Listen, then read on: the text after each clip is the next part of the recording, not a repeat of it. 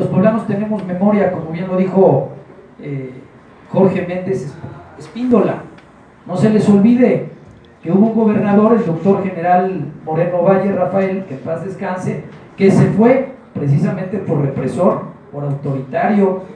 La libró el nieto, pero con un resultado electoral como este les garantizo que de concretarse este fraude, Martérica Alonso de Moreno Valle no termina la gobernatura, porque los poblanos no van a soportar ni tolerar un fraude electoral de estas dimensiones. Está perfectamente documentado, lo estamos demostrando.